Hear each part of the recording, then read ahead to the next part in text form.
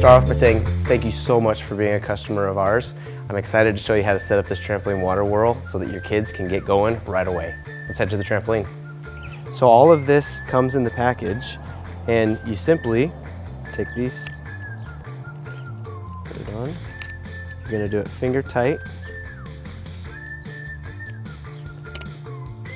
Like that. Then you're gonna take this hose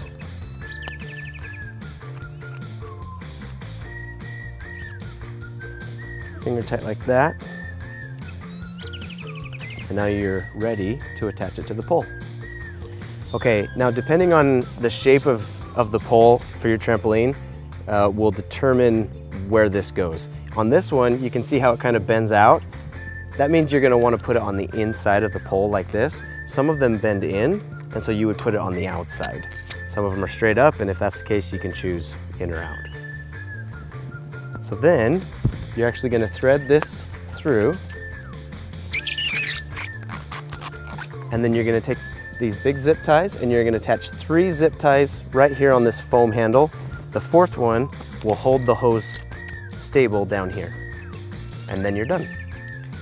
The last thing that you'll notice is this valve and this really helps you adjust how much water you want going on the trampoline. It's super easy to adjust. The kids love this and you're gonna have a fantastic summer. Couple things in closing. We are constantly developing new products, and if you're interested in being on a short list where you get first access to those, text the word launch to this phone number, and you'll automatically be added to that list.